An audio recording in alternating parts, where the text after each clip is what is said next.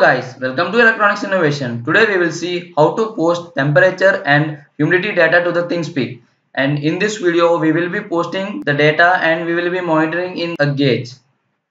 So let's see how we can do this. So let's go for ThingSpeak. Click on the first uh, first link. So here you will be getting this page and if you already have account you can sign in here and if you don't have you can sign up from here you simply provide your email address and the location and first name last name and uh, uh, some uh, some process will be there. So after that you have to confirm uh, from your uh, mail account. So after that your account will be uh, created. So i have already created my account. I can log in from here. So this is the uh, how the ThingSpeak account will be look like. So here you will be having the your your own channels in my channel blog and the watcher channels what are the channels you, you have seen and the public channels means. So here uh, you can uh, create a new channel.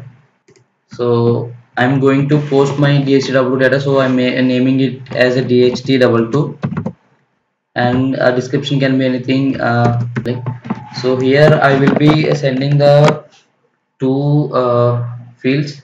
So there is one is temperature and humidity so i'm checking these two blocks. So here you can uh, send uh, up to eight fields. So for example if you want to send data of eight fields so you can send here uh, individually.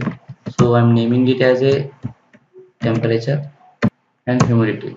So this, this is the field labels you are giving here. So save channel. So here you have successfully created a channel. So here you can you can see that the uh, private view public view channel settings sharing API key and data import. So we will be watching everything uh, in detail. So in the private view. So only we can see this data if we have sent the data. So like that. So you can also add widgets here. So for example this is a gauge so the latest data which you have sent up on here so that can be displayed using these three things. Like uh, in the gauge it will show like uh, analog meter and numerically it will be showing in the numerical display and the lamp indicator uh, like it will show whether it is data came or not like that. So i am adding the gauge here. So next. Name temperature. For field 1 i'm uh, making it. So my temperature will be minus 40 degrees to 125 degrees as per the DHT22 specification so I'm keeping the same. So units temperature degrees. So tick level 10 and update interval of 15 seconds and range minus 40 to 125 so create the case will become here so i'm also adding another uh, widget for the and here you can change the color whatever you want. So i'm keeping it green. Okay. So create. So this is up to the public view and the creating gauges like that. So here i kept the red color and here green color. So it's and if we go for public view so actually here i have uh, kept my channel as private. So if i go for public view it will not allow me this channel is not public. So like it is in channel settings.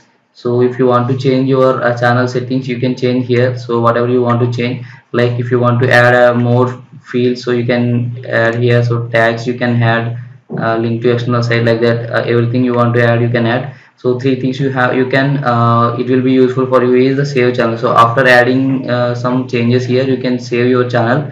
And if you want to clear all data from your channel for example if you have collected data but it is not accurate and if you if you, you don't need the data. So you can uh, clear this channel uh, easily by clicking this uh, button. And if you want to delete the entire channel you can uh, do from here. So like that. So sharing. So if you want to share this uh, channel data to somewhere so you can do with this. So you can uh, add email of the another user and you can share this channel with him. So the most important thing you can do from here is API keys so this is the important thing you can uh, you have to uh, remember. So this is the write API key and this is the read API key. So if you want to uh, send or update data in this channel you have to use this uh, key. And if you want to retrieve the data from here so you can use these keys so by using this API requests like if you want to update the channel field you can use this and field uh, zero like this and if you want to get a channel field like getting request so you can uh, get from uh, using this link like this. So here so you have collected the bunch of data and uh, so this data import and export will be a helping us. So if you want to import data to this channel you can uh, import directly from this choose file. If you have like file uh, from your computer so you can uh, do here so if you want to export the all data uh, channel feed to csv format you can uh, clearly download from here. So this is all about the ThingSpeak okay guys let's move to the coding part. So uh, get this file from the link given below in the description. So open this uh, dht22 underscore thingspeak.ino file using Arduino. And here uh, we, we are we have to perform two tasks that first thing we have to take the data from the dht22 and the data have to be posted to the uh, cloud over the internet.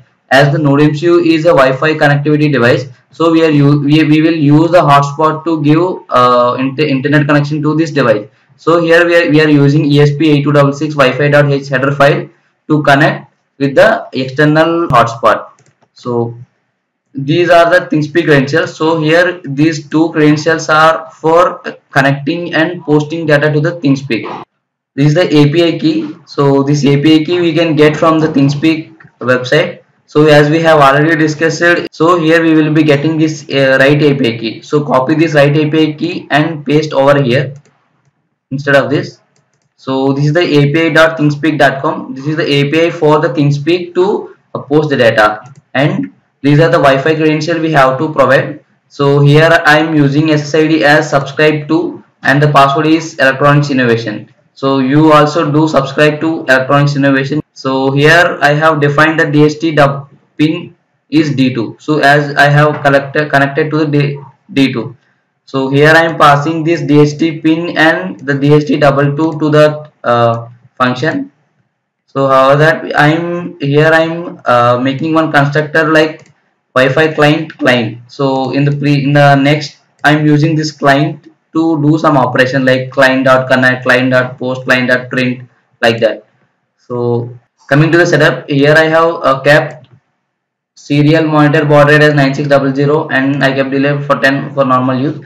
So here I kept that the pin mode uh, D1 and D3 is as output and D1 and D3 as high and low for powering up the sensor.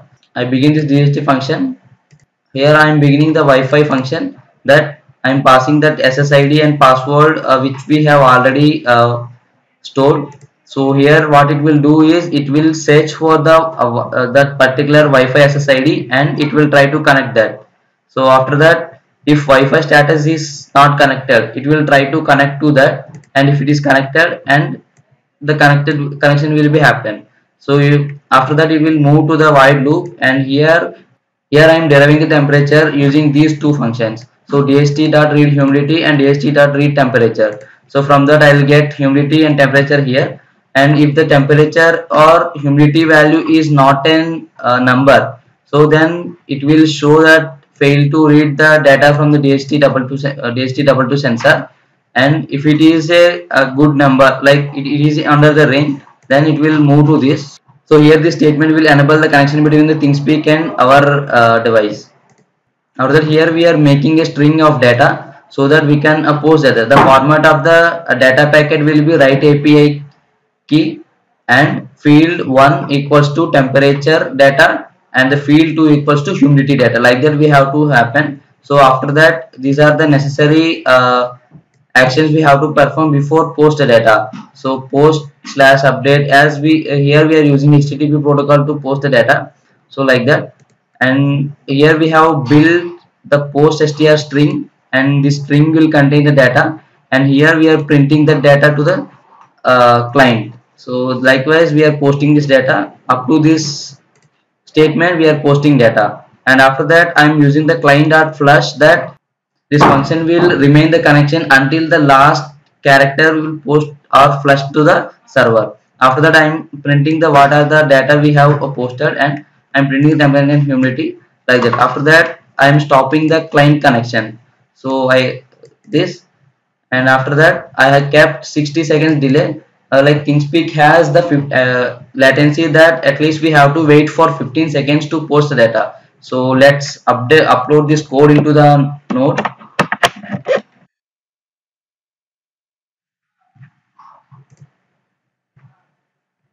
so here port is okay and uh, everything is kept like that. So upload speed is double one five two double zero and you just keep like this. And click on upload button. So here we have seen that there is no data.